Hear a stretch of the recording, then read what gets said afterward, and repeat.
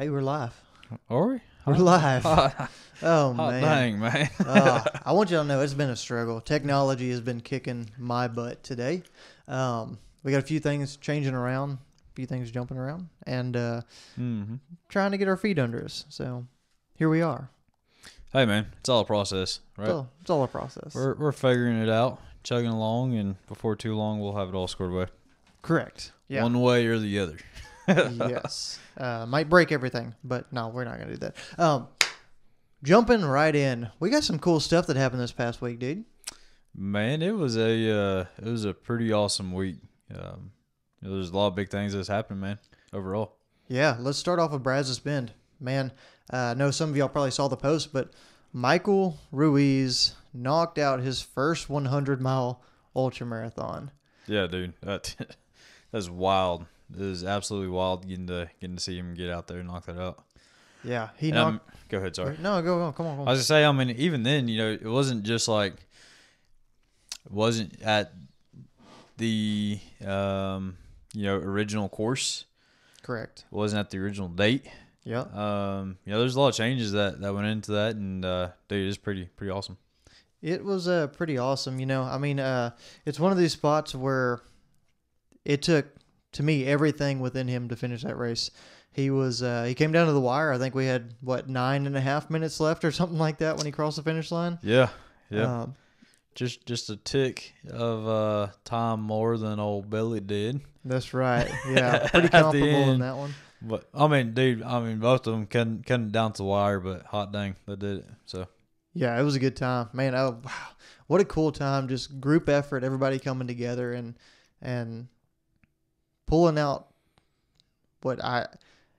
He's going to talk about it a little bit, but he actually ended up tearing his calf muscle, um, and is yeah, that, is that what y'all were talking about? yeah, he tore his calf muscle. So Oh, to do a yeah. marathon length with the calf muscle torn, holy crap!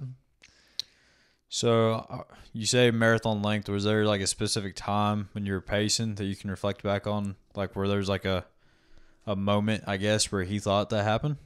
He told me it happened. Oh, yeah, really? he was like, "I think I tore something." Well, We kept going. hey, Like a good pacer should, man. whatever it takes. um, we yeah. made sure he got across that finish line. That's what matters. that's right. Not to mention Kendall had a successful outing. Absolutely. Yeah, Kendall got out there, did her thing, freaking knocked it out of the park like usual. Um, man, it was, it was pretty dang awesome getting to see her get that accomplished too. Yeah, So- she did absolutely phenomenal, man. I I didn't get to be privy to it. I ended up pacing for most of the time she was out there, but hmm either way, it was a neat thing. I mean, seeing her continue to get successful in that that running realm, and now be able to get back to the weightlifting side is gonna be pretty cool. Yeah, yeah, absolutely. Um, yeah, I think she's she's a little excited to get back into the uh, into the weightlifting world a little bit. I think she was, um, you know, she she does thoroughly enjoy running, but she's kind of looking for something different just for a little while. So Yeah. after knocking knocking out both rock and roll and Brazos Bend, so it was awesome. Yeah, man, what a what an awesome situation. But I will say, let me tell you, I will say that one of the coolest things I think that happened this past week, besides that awesome, awesome finish, besides Kendall knocking out that marathon, is we have somebody within our Next in Line network that got into a pretty dang prestigious race, and I think we need to take a second to celebrate him. Man, that, that that was just completely unexpected. Um, Mr. Chris Barnes, he's uh he's gonna be out there running Leadville, man. Yeah, Chris Barnes, congratulations on the entry in the lottery pool for getting into Leadville. Holy crap, dude. I don't know the statistics on it. Do, do you know the statistics of getting into that race?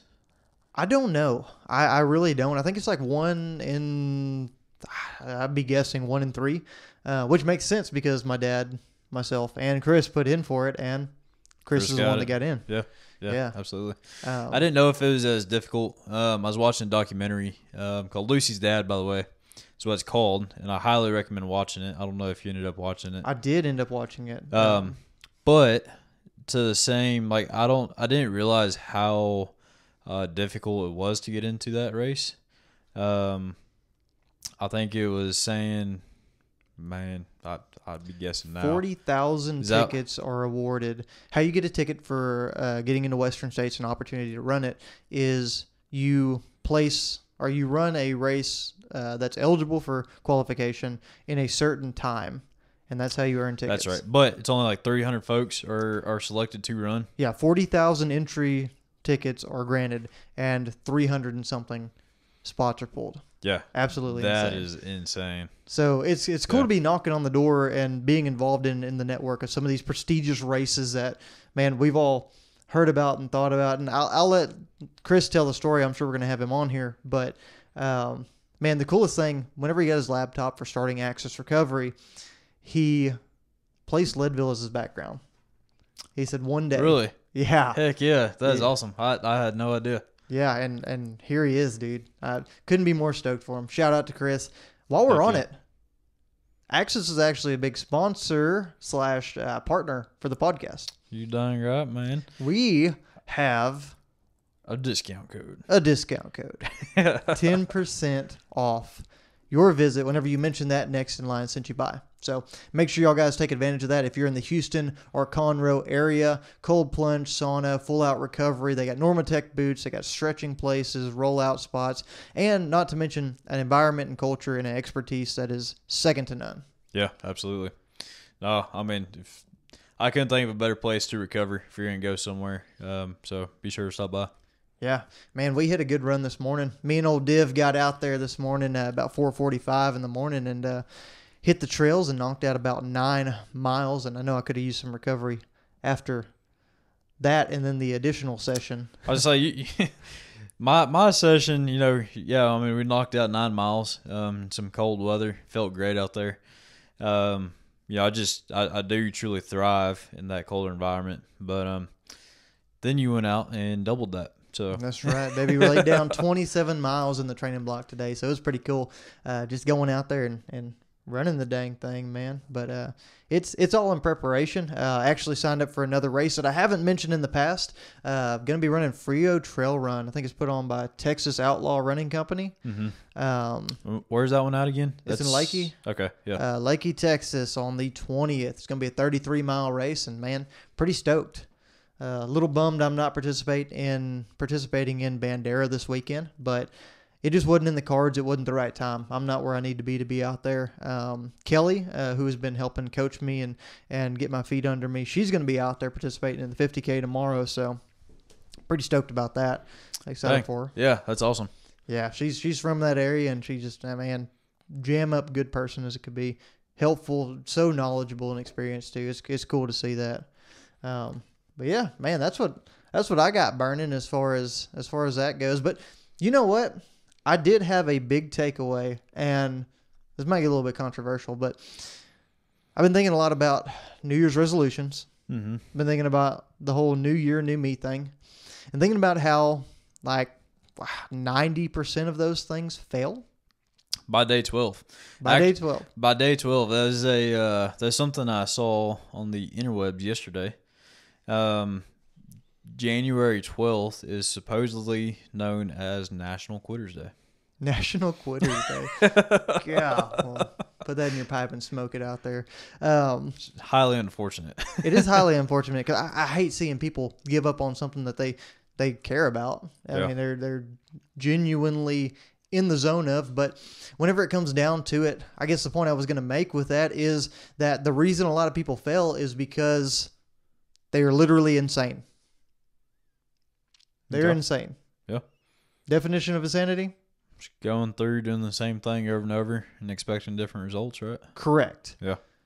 And it got me to think a little bit further in. It actually tied back into Michael's race a little bit. Um, man, you can lead a horse to water, but you can't make it drink. If somebody truly doesn't want the change, they truly don't see the own internal motivation, they don't see that they have to make a change, and they feel like they have zero options, then in a lot of ways you end up pissing in the wind trying to help somebody, trying to talk to somebody.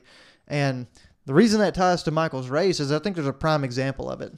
You see, folks, we'll get into it, and I don't want to spoil anything from Michael's story, but we got into the final lap, and he was taking about two hours to complete a loop, Mm-hmm. right? And we had an hour and 55 minutes left when we started the final loop. So we were cutting it close. All right. It was on the edge there. Heck yeah. And now looking back, torn calf muscle, ton of soreness, just exhausted. The dude starts boogieing, starts moving, and we're going, right? I'm pushing him. We're yelling, probably cussing a little bit too, but yelling. We got mantras going. We got all kinds of stuff. We're just putting out into the universe, trying to keep the train on the tracks and give him a shot at hitting that time because we've got less time than he's been going around Yeah. in to complete this race. Big scary back against the wall kind of moment. Mm-hmm.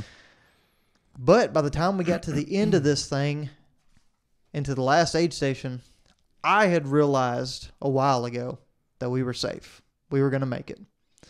And when we got to the half mile mark, Michael looked at me and asked, How much time do we have left? And I looked at him and I said, We got 24 minutes. Now, if you're not familiar with pacing and walking and running, you can just about crawl half a mile in 24 minutes if you had to. If you had to, probably. Yeah. So, with that being said, and him upright and with trekking poles in hand, there's no way he was not going to make it in.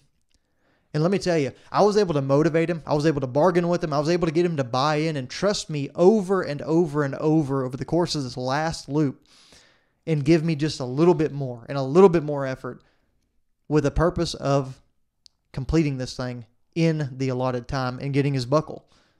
That factor was right in front of him. The the stick was out and the carrot carrot was dangling from the stick. But the minute he understood that he had no way he wasn't going to finish this race, there was nothing I could do to make him run, to Hmm. make him push himself further.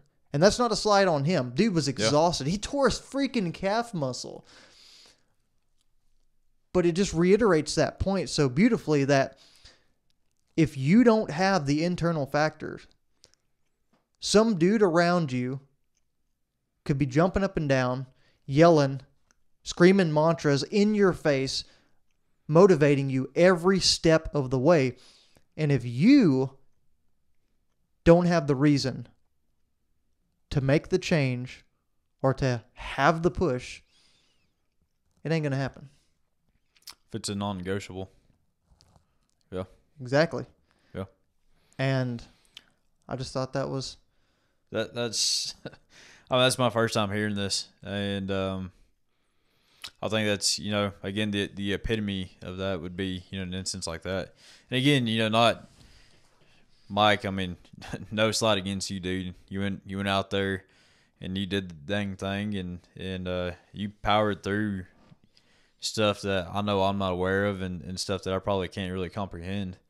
Um, but I mean, it's the epitome of that example. I mean, what you're talking about, it's just, it's uh, it's relatable. So man, and that I think that's a big reason why people start these these New Year's resolutions and these New Year, New Me kind of things, and and then fail Yeah. because the reason and the drive behind it isn't personally big enough for them. They feel the societal pressure, they feel the outside, they feel the embarrassment whenever whenever they go to the gym and they, they aren't as active or they see somebody in better shape or they're making food choices and they're self-conscious about what they're eating or sneaking snacks or whatever it is, right? mm-hmm. They feel those pressures that it's all external. It's not internal, it's not grabbing you, it's not going. Right? I think you know the other part of that too is you know if you if you know that you have um like that safety net behind you, then you tend to make those those exceptions, and Yeah. you know that's unfortunately you know that's that's what's put you um, where you're at today. You know if you're continually making those exceptions for yourself and you're wondering why you can't get something accomplished. I mean, you gotta look at yourself in the mirror. You do. I mean, it's a golden opportunity as well. It's a No, I mean that's exactly what it is. It's it's not a it's not a negative or a slide or anything like that. It's all perspective. Um, but I mean that's the biggest opportunity you have is is going through and and taking ownership of that. yeah, and and now that you understand that it is internal, self evaluate, take a self assessment, be very real with yourself. And maybe, maybe you aren't a victim to, you said Quitters Day? National Quitters Day. National Quitters Day on January 12th. That's, shoot, that already passed. They're, we're a little late on this topic. Yeah. Yep. But there you are. If you're looking to get back into it, or if you you're in the uh, woes of regret right now because you uh, you were part of that 12th or earlier than the 12th, a little something to chew on. You know, the other thing that I do want to add to that is, you know, you got to be patient with yourself too. Um, you know, m- myself, I didn't get it the very first time I tried. Um, you didn't get it the very first time you tried. I mean, we've both been in those shoes where it's like, damn, I'm gonna go out and do this. You get to day two, day three, day four, um, and then you start making exceptions and you fall off the train. Um, but realize that again, it's it's just got to be a non-negotiable. It's like taking quitting off the table and everything else. I mean, it's it's got to be a priority, and there's just no exceptions. That's So. a hundred percent correct. And I'd like to also add to that. I mean, nobody out there is perfect in this, and it is a. Um, I mean, it's a daily challenge, and there's gonna be days where you are absolutely not motivated whatsoever. Um, there's days where all you're falling back on is is the habit itself, and um, you know, I think it's just realizing that no one out there is perfect, regardless of what you see on Instagram, um, or you know from from any of the fitness influencers that you see, or or I mean even business um, gurus out there, whatever it may be. I mean everybody's got their struggles on day to day basis. Um, but again, it's just making it non-negotiable, promising to yourself that you are going to go out there and, and do what you say you, you're going to do, and um, just taking advantage of the opportunity. I couldn't agree with you more, man. I I think that's exactly right. I think there's a there's a ton of examples of exactly what you said, and man, uh, I'm gonna make a I'm gonna make a hard segue here, um, but I think a lot of that falls within diet uh, diet as well, right? And one of it's the completely relatable. it's probably Yeah. one of the heaviest heaviest spots for this this failure and this New Year's resolution kind of conversation. Yeah, Um, diet, nutrition, finances. Um, I mean, throw it out there. They're all relatable. They're all aspects that people, um, you know, are continually striving to improve, as you should. Um, you know, if you're not working towards anything, then you're complacent, and and like we talked about last time, I mean, it's a dangerous place to be. It's a very dangerous place to be. And uh, man, the reason I brought up diet is because there's a big event happening this week too. There's a really bad storm, Mhm. some bad weather, some crazy stuff going on. Um, and first and foremost, we want y'all to make sure you take care of yourselves. We want, you to make sure you're safe. We want you to make sure you're doing everything you can to to keep your family safe as well. But also with that, the odds are in the cold weather, some point you're gonna be making some chili. And and if you're making chili, I hope that you're putting beans in your chili. That was Uh, that was my hard segue. Heck no, man. If you are a true Texan, by golly, you know better than put some beans in your chili. Hey, I got to tell y'all. So we've been having this debate for a long time. All right, this is not a brand new thing. There's a reason it's here in front of the podcast. Um, we actually brought it up to the entire group whenever we were at the race last weekend. Um, had differing opinions. Had some weird opinions.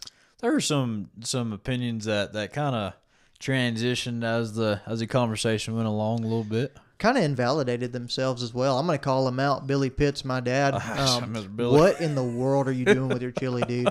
Um, first and foremost, Kind of confused by that too. dude super confused by it to be honest with you uh, I've, I've known him my whole life i've ate chili with him hundreds of times probably at this point and uh, wow okay so uh, my dad agrees that beans do not belong in chili which threw me off for a loop because i've watched him eat beans in his chili his whole uh, whole life and or my whole life at least and uh, then he follows up with yeah but then you make a pot of beans afterwards so that you can mix them in separately but you don't cook them in the chili I was like, what are you talking about?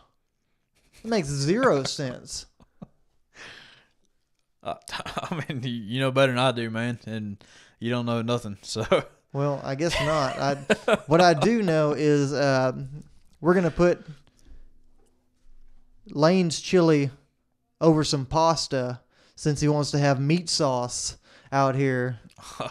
it ain't it ain't meat sauce, man. It is true, true blue chili. I, I don't know what else to. I mean, it's it's the way it is, man. It's something. That's where I'll leave it. I think, it's I think it's a disgrace to leave beans in your chili, but I, I'll let bygones be bygones. I'll accept what you say, but I'm not going to accept the fact that you cook beans separate and then put them in the chili later on. I think that's no, okay. I, I don't agree with what your dad there? said. I don't agree with what your dad said. I mean, yes to the fact that beans don't go in chili, but Billy, I mean, we, we do need some clarification on your end, man. I mean, first you're telling us they don't go in there, then you're cooking them on the side, and then you're throwing them in there, and then there there's another part of it saying why don't beans go in chili, and you know, I think for me, whenever uh, Sam Houston, which for those that don't know is the father of Texas, says beans don't go in chili. I mean, I don't, I don't know what other leg you have to stand on, man. Man, I've seen some very, very big political figures say some stuff that uh, I don't think is true and that I don't agree with. And if one thing is true, uh, politicians lie. So, um, no, res- no disrespect to him, but um, I don't, I don't think he held the keys to the castle as far as the chili recipe goes. Um, No, he just But- made Texas home. I mean, he did something. He, he, did do something. He did some great stuff. he did, and he's from. I, you know what? I actually found something out about him. His family is of Italian descent, and that's why he makes meat sauce rather than chili. Um, yeah. Man, you can shut that blogging down. Everybody knows that ain't true. well, it's worth a shot. So, um, regardless, man, I So, do, do Aggies even even know that? I don't, I don't know if they do. just because y'all got a big old statue up there of the man that makes meat sauce on the side of the highway in Huntsville. For those of y'all that don't know, I'm an Aggie. This man sitting over here beside me is a Bearkat. Mm-hmm. And uh, we, we have our differences, all right. Um, we don't always agree on everything, but um, I I would like for y'all to weigh in. So in the comments section or uh, in the DMs or in your story, let us know how wrong Lane is. Better please. yet, maybe I, I think we should put out a poll. What do you think? I, I think we could afford to throw the next in line uh, story on there with a with a With- with chili poll, poll. option. Okay, Maybe so. Maybe I'm so. here for it. Yeah, I guess so. You'll see the you'll see the uh, light of day. You know, come. Um, about to be blown away, man. Sure. Um, well, so guys, thanks for bearing with us through all the uh, the BS and the craziness that is is this podcast. And uh, man, we had an awesome week. I, let's let's leave it at that. Uh, We had some awesome people do some inspiring things. We had Chris getting into Leadville. Uh, we have some other people signing up for some awesome events. We got races on the horizon. Um, we've got an opportunity to teach Lane about chili. Um, but more than that, if you remember, we were diving into some scripture as well. Yeah, yeah, absolutely. Um, you know, I think last time we talked about going through and knocking out chapters four through seven, and uh, I think that was a little naive of me to say that we can get through four through seven in in a week. I think this ended up being just a little bit more dense than we expected it to be. Um, I, both of us were naive in that regard because I, I went right along with you and thought we could pull it off.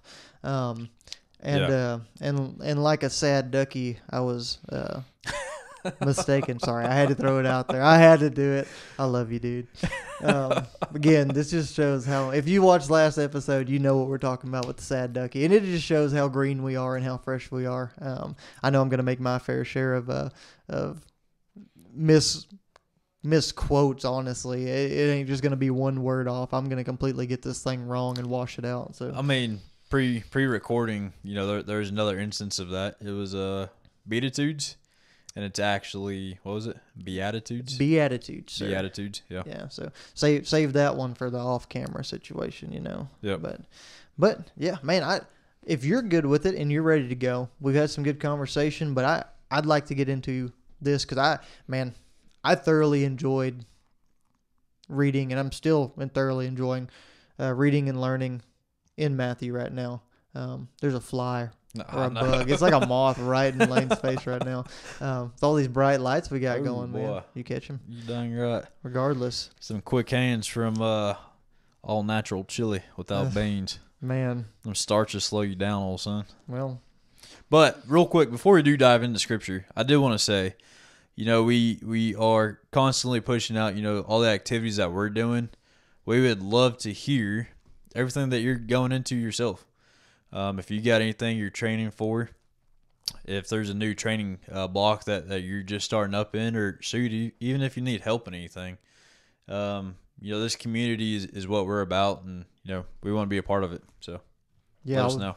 I was going to say that as well. I think that uh, if you've got something out there that you're training for, and and you've got a training block that's a little bit intimidating, uh, let us know. We'd love to help you. That's what we do. We, we we take on challenging things and scare the crap out of ourselves over and over. That's what we're doing here with Scripture. That's what we did this morning with some runs and stuff. So Mhm. we're here for the hard stuff, guys. Let us know how we can help. So, but all right, man. Well, you ready to dive into it? Man, I think so. I think I'm ready for it. Uh, you want to lead the way? Um, why don't you take the lead on this one? I'm kind of, I'm kind of curious what all you got from uh, chapter four. You know, diving into a little bit. I know last time I did say, you know, I, I, I couldn't resist jumping ahead a little bit, and I did read chapter four. And I went through chapter four quite a bit. Um, yeah, I think that there's just like everything else. I, I mean, if you're if you're truly diving into something, trying to um, trying to gain everything you can from it. I mean, you can really study everything at depth for however long you want to. Um, but before I dive, like before I give my side of it, um, yeah, man, I, I want to kind of hear you dive into it first, Yeah, hundred percent, man. Um, if you're cool with it. yeah, yeah, for sure, for sure. Um, I think that a little bit of a synopsis uh, right off the bat. Oop, bear with me, folks. Got a little bit of a technical difficulty. I'm gonna deal with right quick. If anybody's a tech individual, let us know. Yeah, we're definitely definitely looking for a tech guy or girl because we, uh, man, let me tell you, the apps and stuff we got are awesome, but requires an extra set of hands. If you see me looking down, I'm either looking at the uh, notes or the Bible or running this new app. So, um, cool camera angles, cool opportunities, and uh, some some good stuff. But man, just a little bit different. A little better.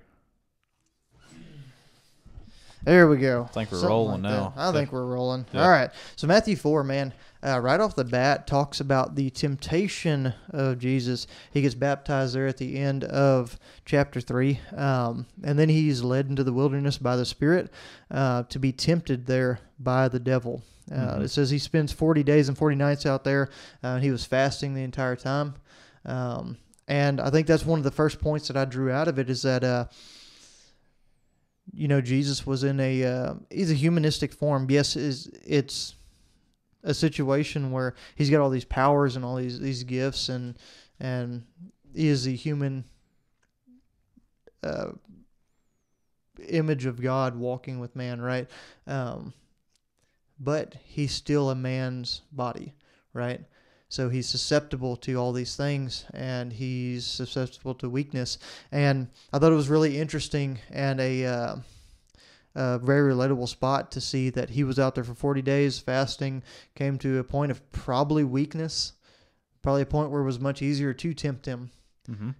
And then that's when Satan came. It was in a spot where it was, he was quote unquote at his lowest, right? I say that very loosely because we don't know fully the state, but it reminded me very, very much of the fact that a lot of times whenever I find myself in a spot wherever I'm just exhausted, overwhelmed with work, overwhelmed with personal life and crazy stuff going on, or that I've put myself in a situation where I'm I'm just I'm overtrained or I'm overstimulated or I'm just kind of stressed out, anxious, done with everything. That's usually when some of my deepest mistakes happen. Yeah. That's usually when some of the hardest battles I face are, whether it's spiritually or whether it's honestly in any of these realms. So it's so relatable to me uh, that the fact that once you get to that point of weakness and, and you're trying to defend yourself, you're trying to defend the things you stand for and the morals of it all, it's extremely tough when you get there. So I thought it was kind of ironic that he was there.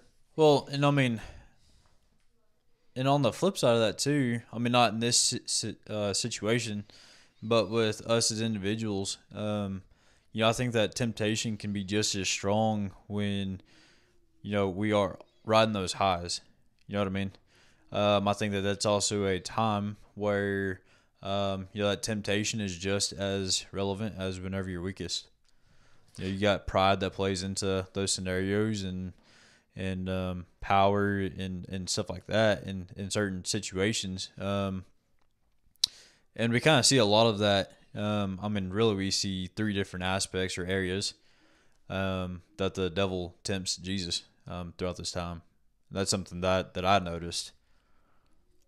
Yeah, I, I noticed that as well. Um, it was, it, it it is interesting, those places that he ends up with, and and you said the three different places. He he does it with a very calling to the last. I think the last temptation he calls him to greed and worldly possessions, right? With the opportunities to to have the world, right? He can be given the world. Um, that reiterates the point that that you know the things that you get in your life aren't always for the better. Maybe maybe it's something you've hoped for, maybe it's something you've wished for, and talks a little bit about unanswered prayers there, as, there as well. But maybe the things that you wish for and the things that you hope for are the things that just land in your life, happen to end up there and seem like such a positive thing, aren't necessarily placed there for the good. Sometimes they're there as a distraction to keep you off of the path that you need to go. There, there is a temptation, just like with Jesus. They're the greed, they're the earthly things that that take away from you understanding what it is that you need to be taken care of, right, in your life. And I think that's that's a very true thing. And then obviously what I was talking about with the the tiredness and the hungriness falls into the first temptation whenever he talks about turning the stones to bread. Um, and Jesus responds with It's that physical need that he's tempting you with. it's a physical need, and and Jesus responds with uh,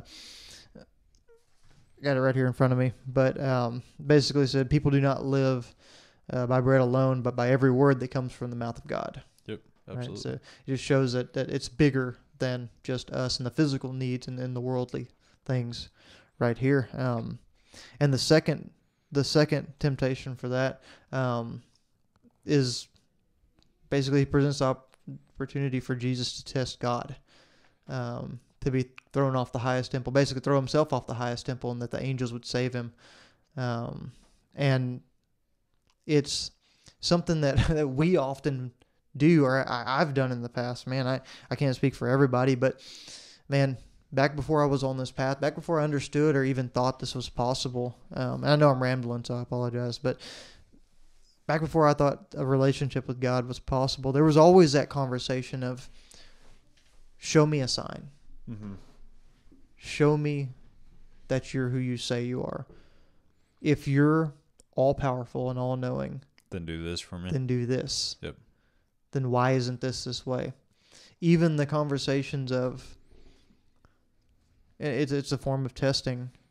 Whenever you find all of these crazy scenarios and situations in which somebody should be saved, but by definition of the Bible and not being able to know Jesus or whatever it is, how how would that work? Huh? Prove that one to me. That's that's all testing. mm-hmm. It's exactly what I've been supposed to not be doing. Yeah.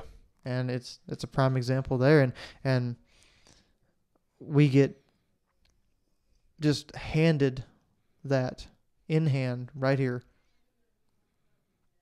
as an example in the second temptation. Um, I don't know what you think on that, brother. Yeah, man. I mean, it, it sounds like you know we got a lot of the uh, you know similar ideas out of it. You know, with that first temptation, you know, being so weak and and shoot, man, he was fasting for forty days.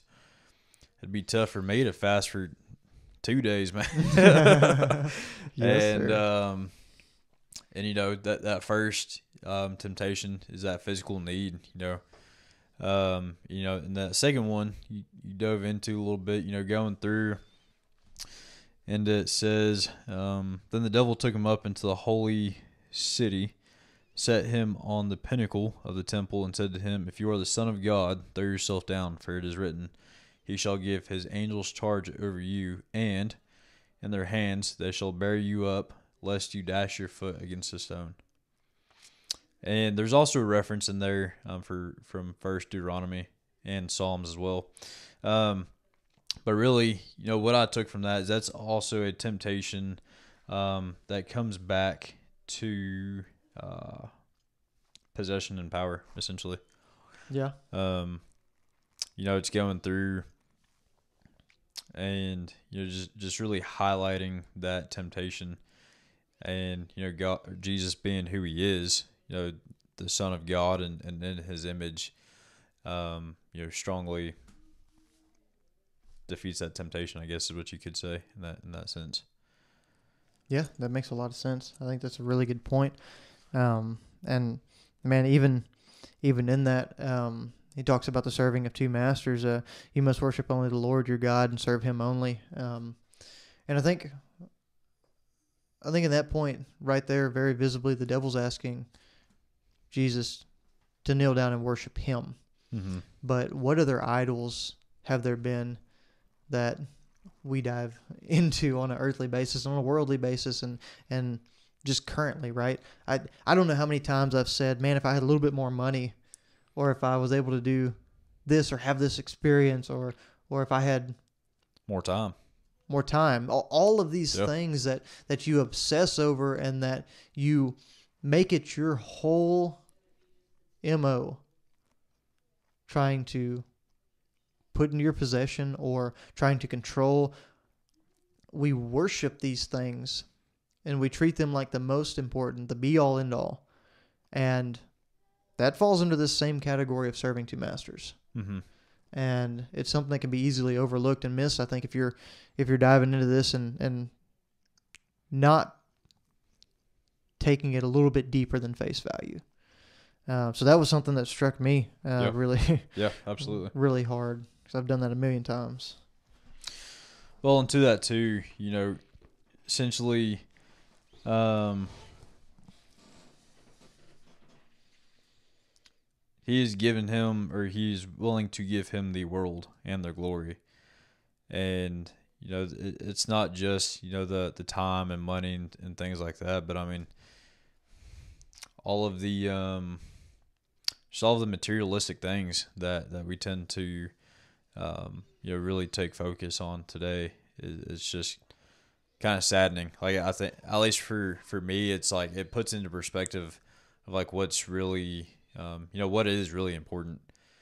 You know does that nicer thing actually matter whenever what you have is just fine? And i think that's something that i struggle with a little bit too. You know i think um, you know for me it's also you know i'm always constant i'm i'm consistently trying to progress and push towards that next big thing. And I have a habit with that, with you know the material side of things, and I think it's something that I can I I do fall uh, fall short on, and um, you know it's something that I need to work on myself. Yeah, I I don't think you're alone in that at all, man. I I, I live in that spot too, and, and I fight those same things. I mean, Yeah. shoot, a prime example of that is is what we were talking about earlier, the the the Traeger that that I mean, smoking good deal. Um, yeah, Ha ha ha ha no pun intended. um, but I mean, for real though, man, you know, I, I have a classic Coleman uh, 413G. I'll save you the research. It was built back in the 60s. All right. So obviously, you know, you're going to have some issues with that. You got some, some maintenance that you should be doing with that. And I don't, I, I mean, to be blunt, you know, I, I fix things as they um, stop working. Yeah. And you know, last time is a bad plunger on the gas tank, th- and this time, um, the regulator isn't working on it. And so, you know, Kendall and I were going through Costco, and, and there's a there's a, a Traeger. I don't know. I think it's a Traeger Ranger is what it might be. Um, but either way, it, it's the it's the portable Traeger. You can go around use it campsites. Um, is essentially what it is, and you know, I was like, hot dang, like I can I I could use that. My Coleman isn't working at the moment, and it's that next big, bigger and better thing for me. And instead, you know, I mean, dude, I was I was tempted is saying it lightheartedly, and um, you know, even to that point where like you're going through looking at your accounts, like, all right, if I buy this, what is this going to look like? You know, and uh, trying to justify it and, and stuff like that. And at the end of the day, it's like, dude, I mean, just go buy the sixty dollar part to fix what you have right now, and you're just fine. And I think that that's something that's that's relatable, you know, across so many different instances for for whatever it may be. Um, but I mean, that's a prime example. I think that's a that's a very easy example that it would have been easy to overlook, right? Uh, it was just a, a, trivial trip to Costco, and it was a trivial thing, something that you love. I mean, you're very yeah. passionate about cooking, you're very passionate about uh, smoking meat and barbecuing, and that would have fit right up your alley. It makes a lot of sense. I mean, crew chief here, man. I gotta make sure we got good food. That's right, old crew chief Divin over here. Um, it was good to see you back in the crew chief seat this past weekend, dude. Uh, but that that's a perfect example because it makes all the sense in the world, but you don't need it. I, I don't need it. Right. Yeah. And again, I mean, it, it's it's something that's just so easy to gloss over. But whenever you are truly um, being self reflective with stuff like this, is like there's an instance right there, and it, it it shows to me like how much work I still have to do. I mean, something so trivial as, as a new um, portable grill, essentially. Um, you know, like why why is that such a trivial thing? You know what I mean? And it shouldn't be. Yeah, I I think that's awesome. I appreciate you sharing that too, because I mean yeah. that that probably um, didn't even scratch the surface, or, or it pales in comparison to some of the things that we could talk about and dive into with the temptations and and those those worldly possessions and greed, and it gets very hectic very quickly. Mm-hmm. And I mean, you know, that's that's something super lighthearted as well. Just a gas grill at the end of the day, or, or a smoker, or whatever it is, right? But I mean, what about those things that actually hold a lot more weight in your life? Um, you know, what does that look like? I think you're I think you're absolutely right. So. I, I can appreciate that a lot. Definitely a big struggle of mine. Mm-hmm. What else you got under the uh, the tempted spot? I got I got one more point. What else you got? I think something that is kind of um, I would say apparent, but should probably be said. You know, obviously we all face um, times of temptation with whatever it may be or tough situations, and you know I think an easy question you can ask yourself in these times is, you know, one is this. Um, is this? I mean, you could look at one of two ways. One is this serving uh, a purpose for God's plan in my life, right? or two, is this something that Satan is is trying to do to prevent um, that purpose, essentially? So, two different perspectives, kind of lean towards the same thing. Obviously, you know what what what does this actually serve? But no, I think that's a fair fair conversation for sure. I think it's something that, that definitely matters and and brings a lot of value whenever you think about it. Um, it we we overlook so much, man, and we we try to validate everything with with the most positive opportunity and most positive light on it, right? We think, oh, it's a blessing. Oh, this is opportunity. Mm-hmm. And the truth is, we're just being blind and used with our human emotions, um, and and overseeing a lot of things and, and kind of chunking the bigger picture out the window. Mm-hmm. Um, so I I appreciate that a lot. I think the other thing to keep in mind too is temptation itself isn't sin. That's fair. Temptation itself isn't sin, but it's whenever you actually go through with that act, obviously, then it does. um, you know, it, it goes along with the with the struggles and everything else we have. Like you're going to have those issues, you're gonna have those struggles. Um, I think you'd be naive if if you didn't own up to to that simple fact, right? But it's being aware of that and, and knowing that you're gonna have to work through those times. So I think that's a great point. I mean, the whole thing starts off right off the bat. Uh, the, chapter four, Jesus was led by the Spirit into the wilderness to be tempted. Yeah. He- even Jesus was tempted. Yeah. But being as perfect as he is, didn't fall to the sin. And I think that also highlights um who Jesus is. Like like that's a simple um reflection point of like this is the son of God being that he can resist that temptation perfectly. Yeah, I think that makes a whole lot of sense, man. I, Like I think it's like yes, obviously it's the son of God, right? Jesus. Um but I think it's just a simple fact to that that can easily be glossed over. Like it's a not that he needs any um, backing in who he is, but I mean that's a that's a simple simple um, example right there.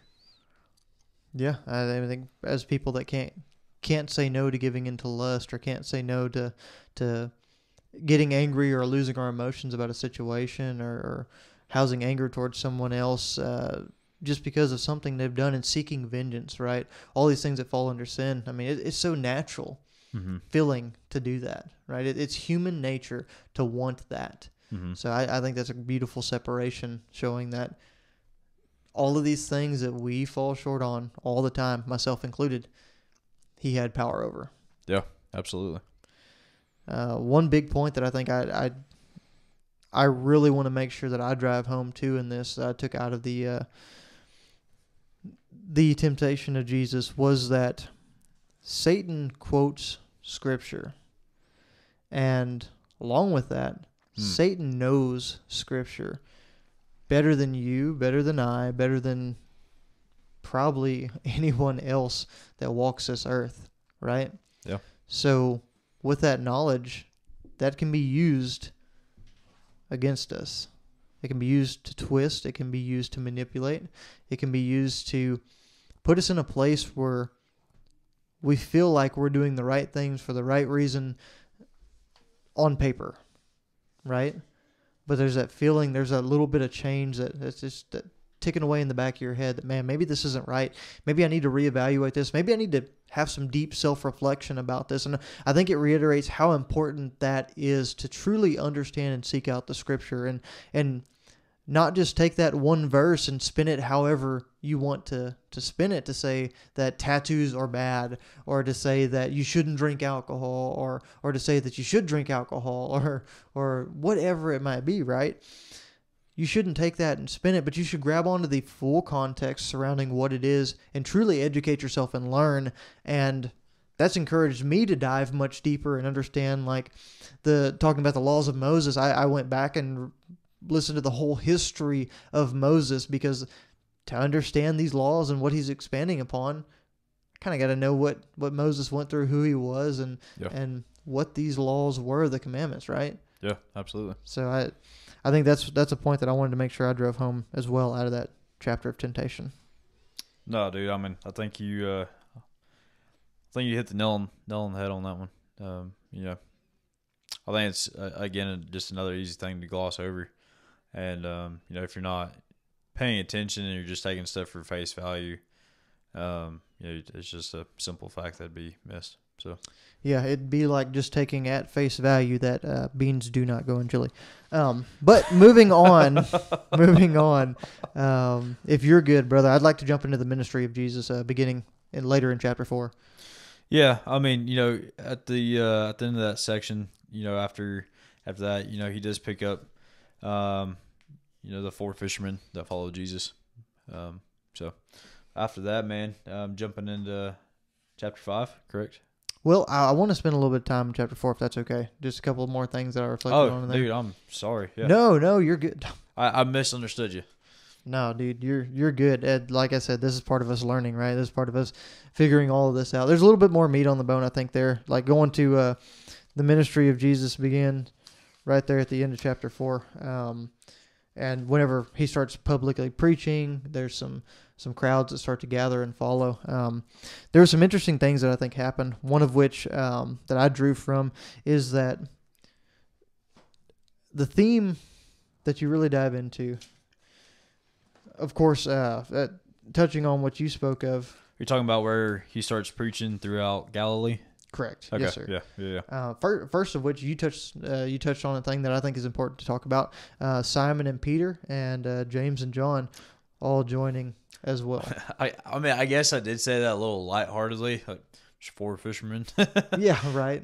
um, but yeah, uh, by all means. I'm with you, but but that's beautiful in its own way, brother. I will say because a lot of times we put these guys on pedestals, Mhm. right? We put all of these followers and the apostles and guys that were there on pedestals to the point of there was something so special about them. There was something so immaculate in their history and their clean records and all the stuff that they did that, you know, how could I ever be like them? How could I ever follow them? How could I ever live up to being something like that? But the truth of the matter is, they were just fishermen. Yeah. I mean, They were just fishermen, right? And did they have something within them that made them capable of of being the people that they needed to be? Yes, Yeah. absolutely. But don't we all? and we all do exactly. Yeah. We're all just fishermen, right? So I, I actually love the way you said that. So I I don't want to want to walk away with that. But I think something else so beautiful about that situation was their their faith, right? Because they what did it say? They were asked by Jesus to follow him, and they put down their nets and they left. And they left. And James and John, I know you're thinking of something, but throw No, it go out ahead. there.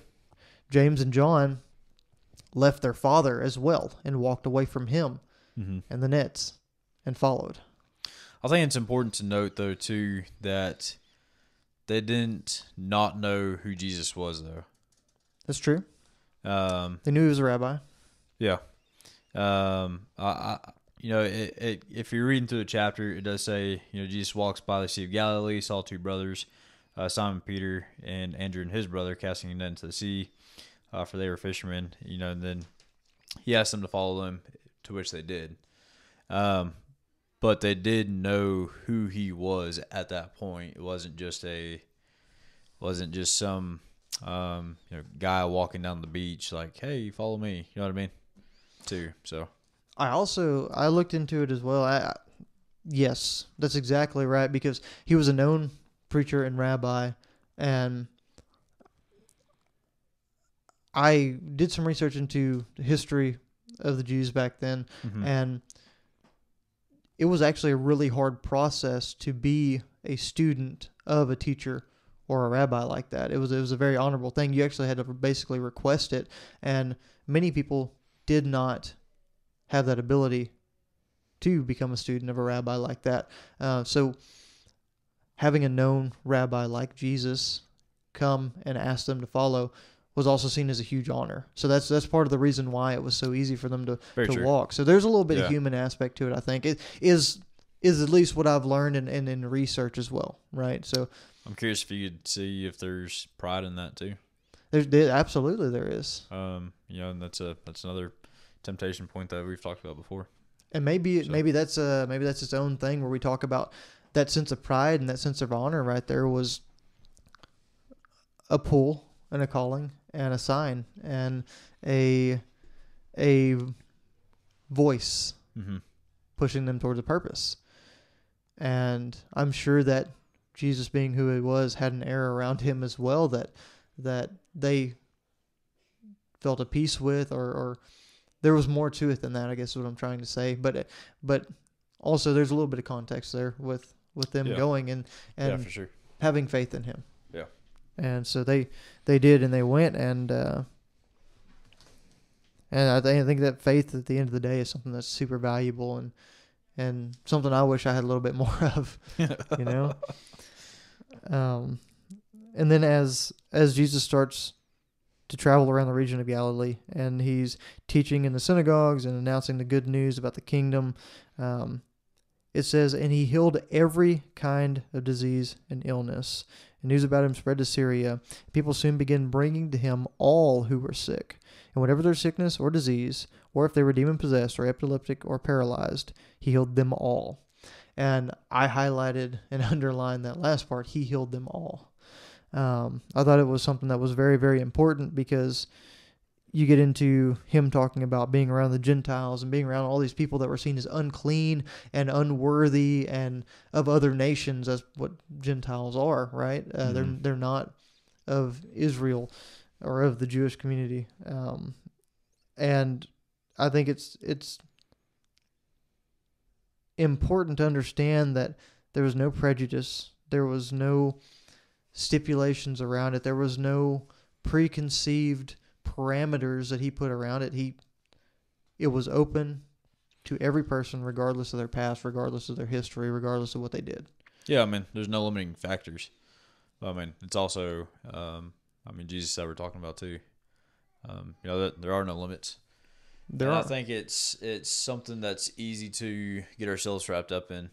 Um, you know, we have a subset of of you know whether it's people that we think we belong to, or if it's um, a stigma or, or or whatever. However you classify yourself, if you do classify yourself, um, you know, there was none of that there.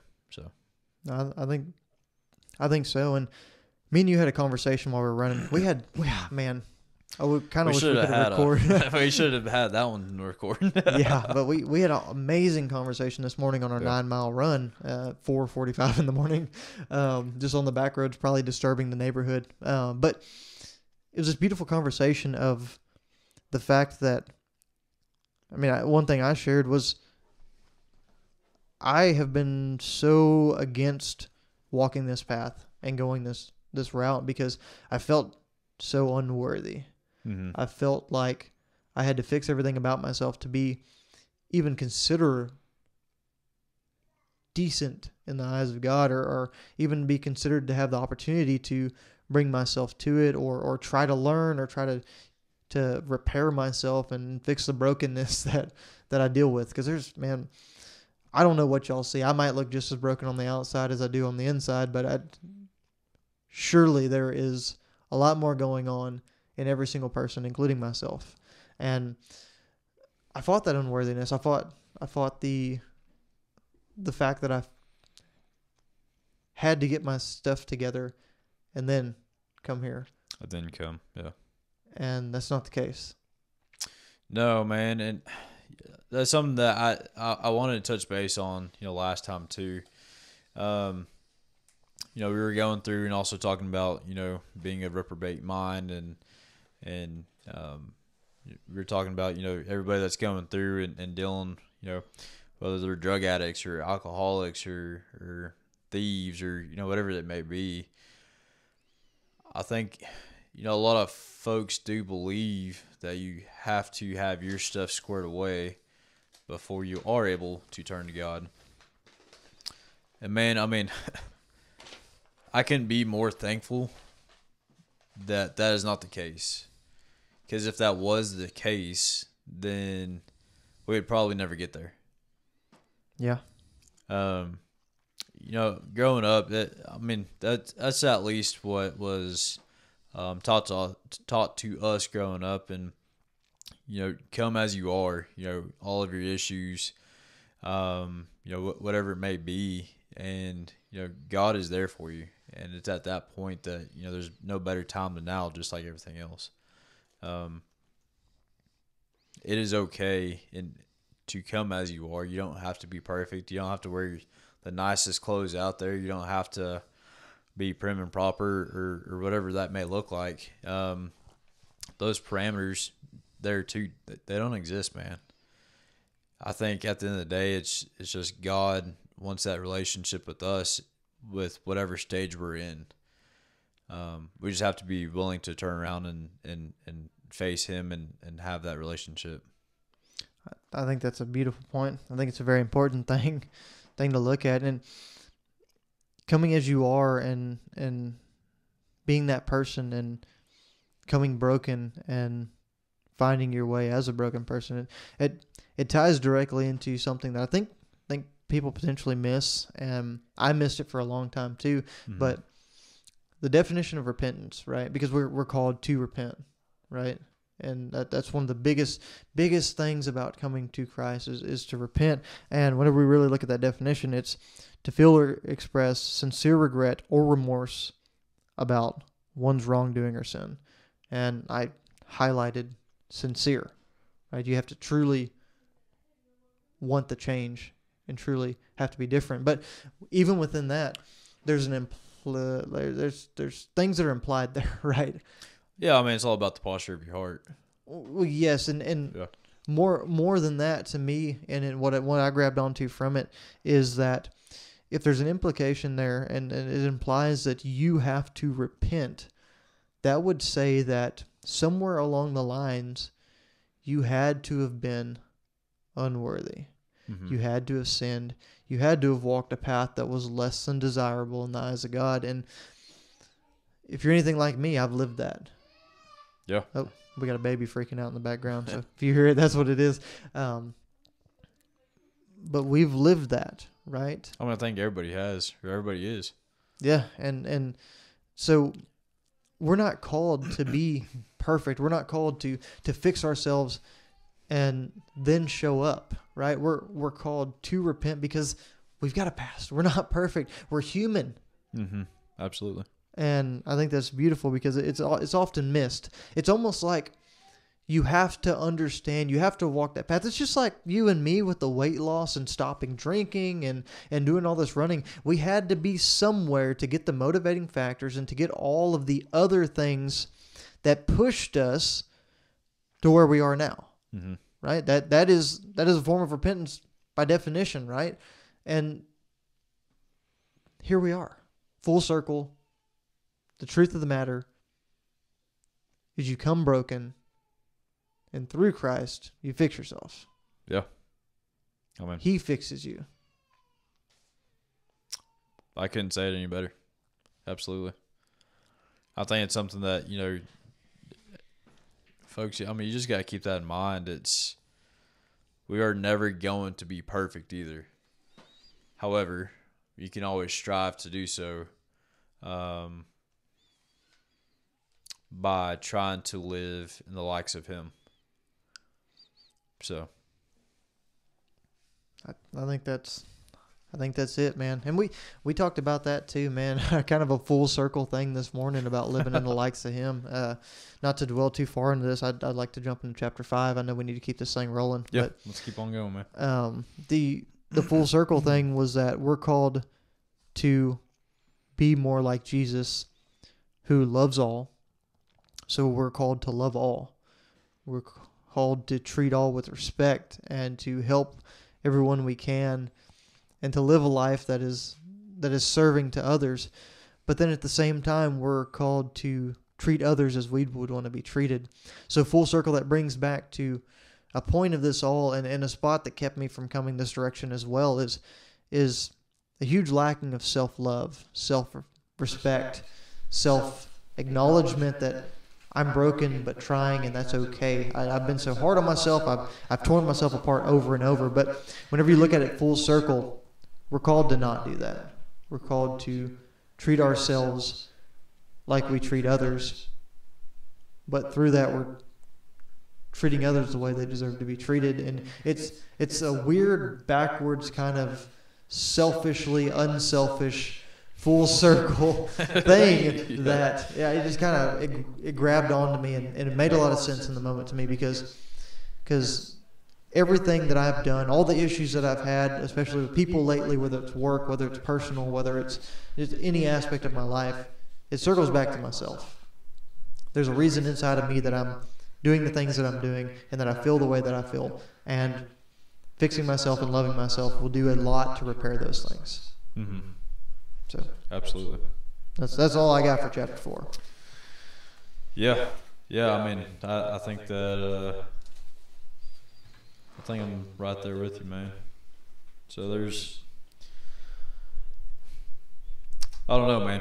I, again, you can just take so much from all of it, and it's just taking what you learn and, and trying to apply it in everything that we do. Is what it comes back to. Um, and chapter five is literally the epitome of that.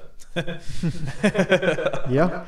It's like this thing's supposed to tie together really well or something. For some crazy reason, I, I don't know. Yeah. Oh man. Uh, yeah, I'm in chapter five. Goes into the sermon that Jesus gives on the mount. So, um, you know, right off the bat, um, you know, looking at verse three, three through six, um, you know, really stuck out to me quite a bit. Really, I mean, three through ten, right? But The entire Um, Beatitudes. yeah, all of it, it, it just it hits you like a rock. Um, you know, blessed are the poor in spirit, for theirs is the kingdom of heaven. Blessed are those who mourn, for they shall be comforted. Blessed are the meek, for they shall inherit the earth. And blessed are those who hunger and thirst for righteousness, for they shall be filled. Um, you know, going going forward through there, you know, blessed are the merciful, for they shall obtain mercy. Blessed are the pure in heart, for they shall see God. Blessed are the pe- the peacemakers, for they shall be called sons of God. And blessed are those who are persecuted for righteousness' sake, for theirs is the kingdom of heaven.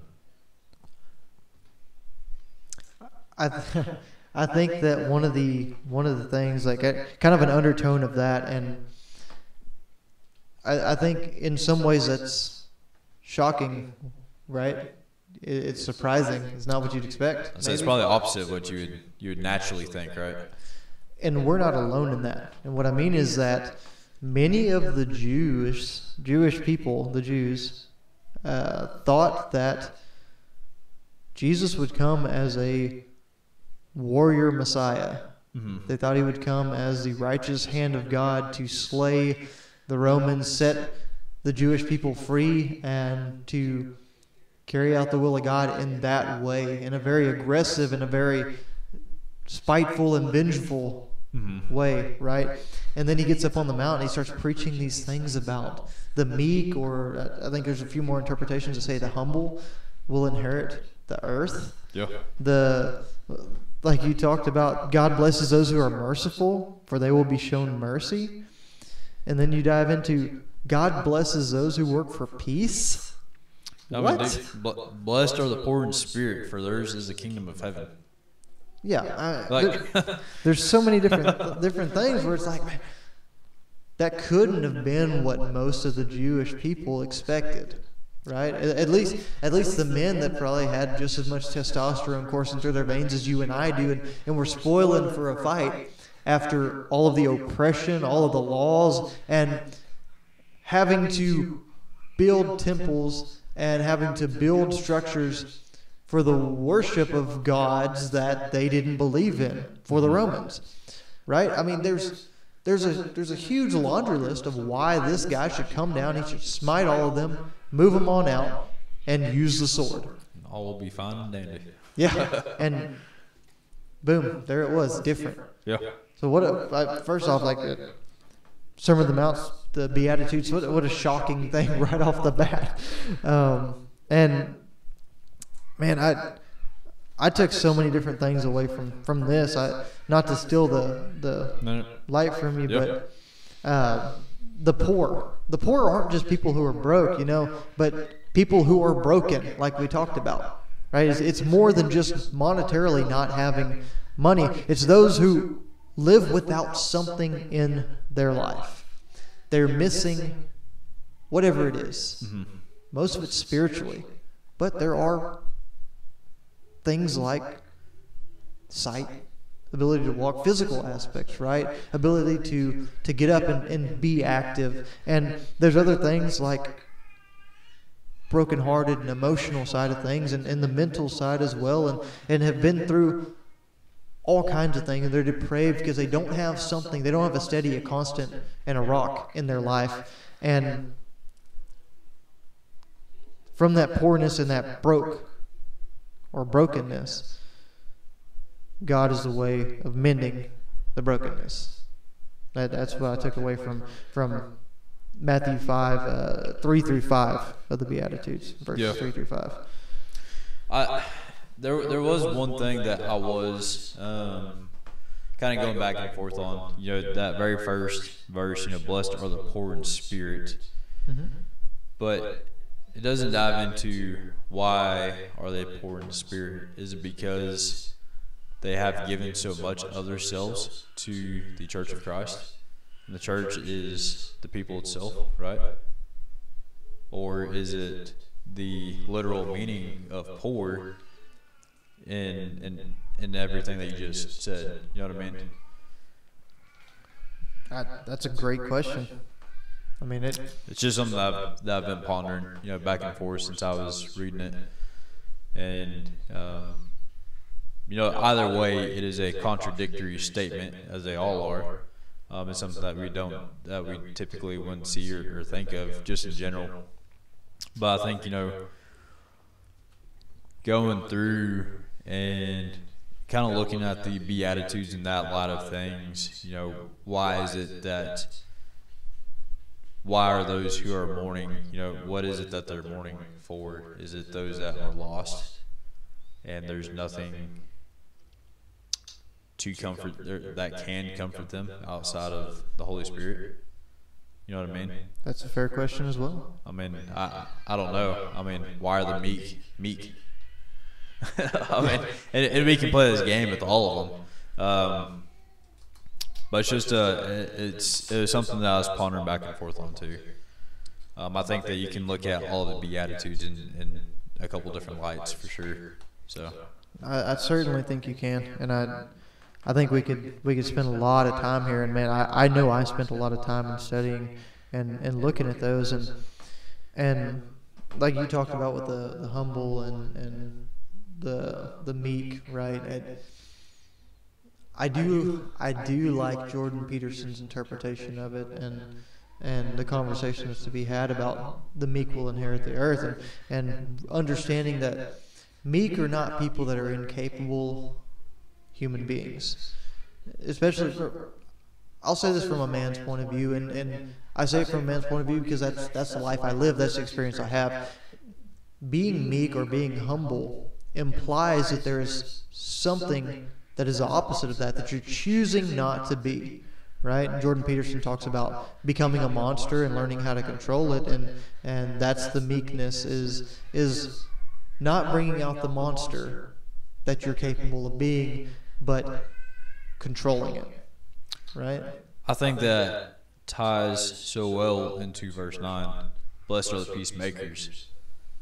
I don't think that you can have peace if you don't know what violence is. Well, you got to have. It, it's like a bargain, right? It, the the peace between two parties, if it's one sided, if all the danger, if all the value, whatever it is, is on one side, unless that one side is merciful or fair, the peace isn't going to exist. They're going to do whatever they want. They're going to run over anybody. But you're right. It implies that you've got to have some kind of buying power on your side. You've got to have the force. You've got to have the ability. You've got to have a little bit of the capital side of things with the money or whatever it is. Right? You got you got to be capable. Is what I'm getting at. Yeah, absolutely. So I, I, I do like that a lot. Well, and I think that what you just said just now, you, you have to be capable. I think that highlights the fact that as followers of Christ, we're, we're, you're not supposed to you're not supposed to be, but you, you are not people that just idly sit by, right? I think that that's a perception that, that's commonly um, seen as, as you're just weak individuals that this is what I am. I can't go against the grain. I'm just supposed to be cool with it and, and not stand up for anything in some sort of sense, right? Yeah. Besides following the word of Christ, but I think it's also or more so that you are capable of all of these things, but you're choosing to be um, in control. Yeah. Right. Yeah. Absolutely. That's fair. I think that's a really good point, man. I think, I think it is, and I, man. I'm gonna keep saying stuff that's gonna get a shadow ban, um, but but um, come on with it, man. You know how much evil there is out there in this world right now. You know how much selfishness, how how about this? Besides the negative side of that, let's go a little positive loop. You know how many opportunities there are for us to stand up as men and stand up as strong women and to stand for something right and to do something the way we know it needs to be done to stand up to all this crap. Man, I saw an article that made my freaking skin crawl. It was posted on Andy Frisella's story. It wasn't the Houston thing, was It it? was a Houston thing. And I, if y'all know what I'm talking about, I'm not going to get too far into it. But there's two, a group of seven individuals that It's brutal, did some very, very heinous. things Yeah. to a couple of toddlers. Yeah. And It's hard to read.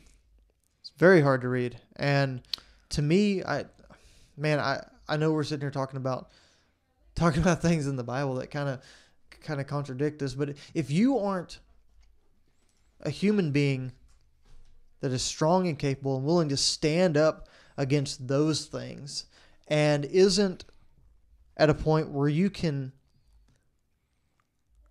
see something like that and that not just make you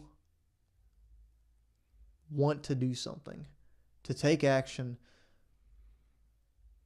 or just simply to train yourself If you're not affected by it, that, that- if you're not affected by it, you've got to do something. You if put in the work, figure out what it is that you can do so that this doesn't happen to you or your family.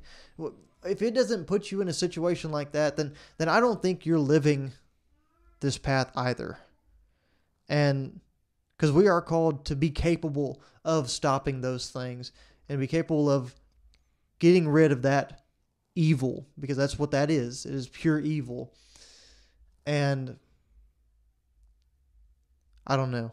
I I think that each and every one of us has a duty and this meekness and humbleness implies the other side. The peace implies the other side. It, it implies the ability, the capability, and getting yourself to a point to where you can handle these things and this business whenever it comes up. And I think it's our job. I think it's our place to be capable and ready to stop these things because they're becoming so much more prevalent and ready and happening just all over. That's close to home. Houston's a few hours from here.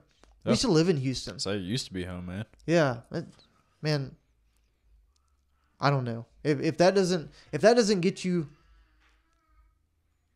to stand on your morals and use those things as a reason to get somewhere you need to be or to have a motivation to be proactive against a situation like that, then I don't I don't know what you're doing here, honestly. Um, I not mean, not to get too negative. Sorry, man. no, for sure. But I mean, if that doesn't do it for you, you know, I'm not certain what will. Yeah. I mean, the the innocence of two children and and you know what they what they went through. Um, brother, I mean, not. It's hard to even comprehend. I I don't know where that I, I don't know how that kind of evil would even live here, man. Yeah. Um, but shifting gears again. Sorry about that, folks. Uh, you know what? No, I'm not sorry about it. But shifting gears. Matthew five verse ten was another one that hit me really hard. And it talked about the persecution, and in the form of persecution here, uh, what it's really discussing is, um, God blesses those who are persecuted for doing right, for the kingdom of heaven is theirs. That ties directly into what we just talked about as well Yeah, absolutely. persecuted for those doing right um, because it is just a beautiful example of that but from another standpoint persecution's not just law we look at it as being arrested thrown in prison for something that we did or didn't do and it was right or wrong or whatever but it's more than that right we stand on our values we stand on our morals and for this we stand on the principles of god and for the kingdom of heaven and the persecution isn't just a law. It's all those individuals around that stand and judge us, right? All all the family members that that persecute you with their thoughts and their side conversations and all of the things that they say behind your back when you're not looking and the things that hurt us, right? And that's another form of persecution. it's getting reprimanded at work for something that happened there. You made a call that was the right decision to take care of your employee, but it didn't fit the narrative of taking care of the company first, and you got reprimanded. Yeah. That's persecution. Those are all things that we got to live in. Those are tangible things. We might be sitting here thinking about how we can we can stand up to all this evil and do all these things in in in life. And yeah, we should stand up to those things, but that's not the daily norm. But there is opportunities to stand strong in the face of this persecution all the time. And I think morally and as strong individuals, strong men, strong women, we have an obligation to that. And it clearly states that in verse 10 that blessed are those who are persecuted for doing right. I mean, dude, and you know, in society itself today, I mean, if you just open your eyes and start paying attention to to those things, I mean, there's a multitude of opportunities there, and um, you know, it's just making that decision at the end of the day. Is what it comes down to. So, Couldn't agree with you more, brother. Um, you know, uh, we said we were going to get through chapter four and five today, uh, but man, we're getting a little long in the tooth here. are we? Where are we, at? are, man. We are an hour and uh, twenty-two minutes into this podcast, so I, I would either I'll let you make the call. You tell me what you want to do. You want to dive into salt and light, or you want to call it here and move, uh, finish with the beatitudes for now, and and dive into the rest of chapter five next week. Well, uh, you know, we- why don't we call it with the Beatitudes? Um, I do want to end on a positive note. Not saying that the Beatitudes aren't by any means or, or anything that we talked about, right? No, I agree. I but agree.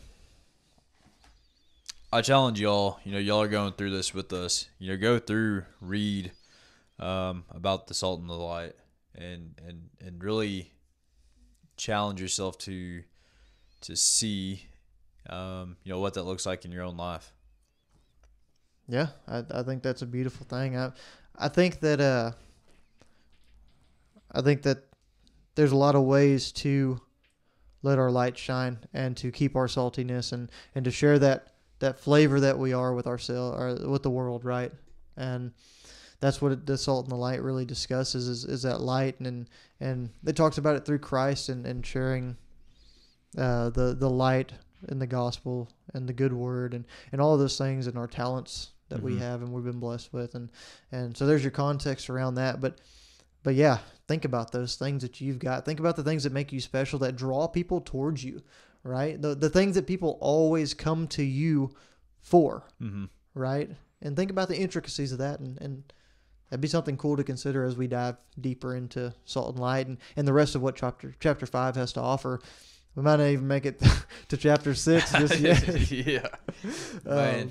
I, I just I, I don't think we can really uh, put down you know how many chapters we're gonna be getting through on these on these episodes. Sure enough. No, but if if y'all want to participate or or be part of this, let us know. I mean, we're I'm going to put this out there. Uh, tell me to shut up if I don't need to talk about it yet. But um, we've even talked about doing a study group, um, doing an Mhm. accountability kind of group as well. I mean, there's a million different ways we could go with it. Um, giving the opportunity to review and study these things and talk about them, and then we'll share the points on the podcast. Uh, you can stay anonymous with it, uh, or you can dive in and we can mention who you are. Uh, but if you'd be interested in an hour uh, or two study session of a week just diving into this like i said there's no pressure because we're so new into this uh, we don't know what we're doing fully but we're trying to learn and we're spending a lot of time studying and it's been helping Yeah, I mean, I think at the end of the day, you know, we're just trying to be intentional with with this whole process, just like everything else. And you know, I, I think that's what it comes down to. You know, we're not going to get everything down pat first time, and if if we did, you know, I think that that'd take away from the uh, from the importance of it all. So yeah if, if we did we would uh we would be so alike in our walk with christ to him that um yeah we it yeah. wouldn't be the wouldn't be a purpose behind what we're doing here. But I, I, I think we're far from that. We both agree, and and yeah. So if you're interested in that, we'd love to put together a, uh, a Zoom call or Google Meets or or some kind of meeting. Um, love to do it in person, but we know everybody's so spread out. Uh, but something like that. If y'all are interested, Yeah, comment, absolutely. shoot us a DM. Uh, you can reach us Facebook, Instagram, or TikTok at Next in Line Development on all of those platforms. That's a good place to list uh, to to get with us on that. Um, man, that's that's kind of what I got. Yeah, brother. I mean, I think we, I think we got it all on this one. Um, you know, folks, if, if you're finding any value from this too, you know, please share the show. Um, you know, we're we're trying to grow this community I'm next in line, and it's not about Chance and I, but it's about y'all. Um, it's about bringing um, folks together of same mind and, and trying to continue developing ourselves the best we can. Yeah, I mean it. It's it's cool where this has gone. Just to give y'all some context, I mean we've we've helped a lot of people with workout plans. We've helped a lot of people with ways of losing weight. Uh, helped a lot of people with just Professional development too. professional development and, Yep. and counseling through tough situations that we've been a part of. Um, but we've also got a network of individuals that are very experienced and talented um, that all have different walks of life that we would be glad to connect you with those people that fit your situation that can help.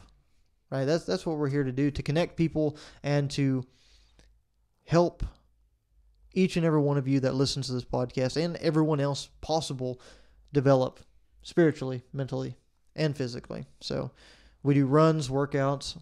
People like to run ultra marathons. People like to run half marathons, marathons, 5Ks, whatever your level is, just a mile, just getting out there. We want to help. Yep, absolutely. That's what it comes back to, man. So, but other than that, you got anything else, man? Man, I think that's all I got for now. Cool. Well, let's hit it. Well, folks, uh, make sure you put beans in your chili and always be prepared for whatever is. Next in line, and it ain't beans. Thank y'all.